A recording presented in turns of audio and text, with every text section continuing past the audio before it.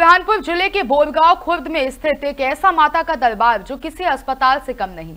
ये वैसे तो हर सिद्धि माता है, लेकिन इसे खुजली वाला माता के नाम से भी जानते हैं। आपको बता दें कि यहाँ जो भी दुखियारा खुजली, फोड़े, फुंसी या बड़ी से बड़ी बीमारियों से ग्रसित आता है। वो ठीक होकर चला जाता है। दरअसल बुरहानपुर ज़िले का ये प्राचीन मंदिर, जो अब तक पुलिस प्रशासन के कब्जे में था, इसे अब भैरव मंदिर के मठाधीश को सौंप दिया गया है, जिसको लेकर यहाँ के मठाधीश आत्म चैतन्य स्वामी का कहना है कि यहाँ जो भी बीमारी लेकर आता है, निरोगी होकर जाता है।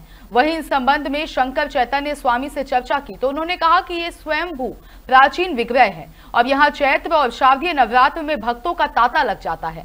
वहीं अश्रद्धा भक्ति से पूजा करने पर जिसे भी कोई बीमारी, फोड़ा, फुंसी या कोई भी खुजली हो तो वो खुजली से मुक्त हो जाता है। देखिए, मैं पाँच छः महीने से मेरे को स्वामी जी कहते कि जाओ भाई, पूजा किया करो। तो रोज आता हूँ, धूप, अगरबत्ती, सुबह शाम पूजा करता हूँ। मंगलवार के दिन बहुत लोग आते दूर दूर से।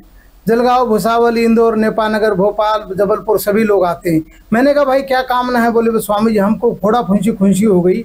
हमारे खुजली जाती नहीं है।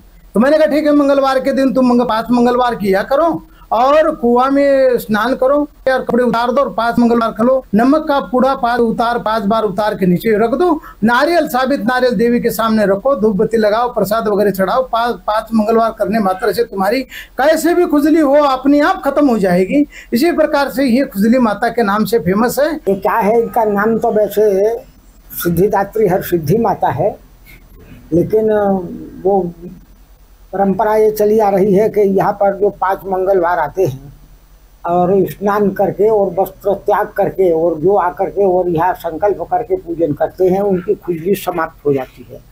तो इसीलिए वो लोग हर सिद्धि और सिद्धिदात्री तो भूल गए। जैसे वो अपने हैंडल बाबा हैंडल बाबा करके गंगा गिरी को भूल गए। ऐसे वो हैंडल बाबा बन गए, ऐसे ये खुजली माता बन गई है। तो ये बहुत प्राचीन मूर्ति है।